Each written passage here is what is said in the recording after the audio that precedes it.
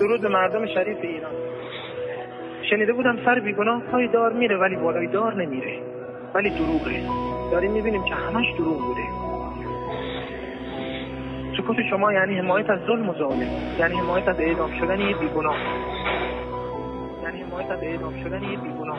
ای هموطن آماده باش این آخرین فرصت ماست. هنگامه جنگیدن و بلیدن این اجده هاست. سودی ندارد خشم تو. تا اعتراضت در خفاست.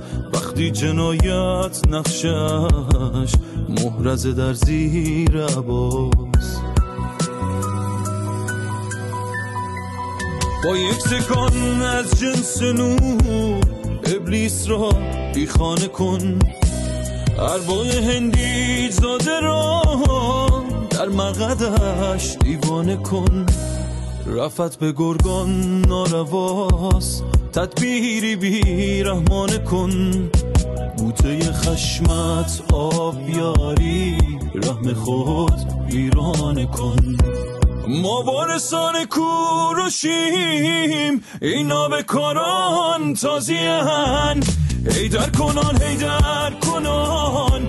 با شمرها هم بازیهن از بر اربابانشان تیاره ها اندک ولی این ابلهان شادی کنان با خر سواری راضی هند. به ناحقترین بهمن از راه رسید. و مدفون نمود. تاج تاریخ ما و با وعده مفتی آب و بر رقم خود روزای تاریک ما. که از رایا نداشت.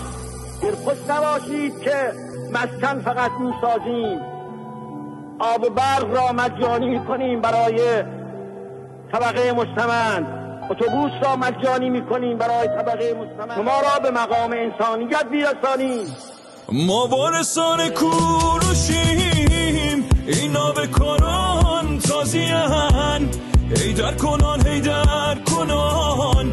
با شمرها هم بازیهن از بر اربابانشان تیاره ها اندک ولی این ابلهان شادی کنان. راضی هند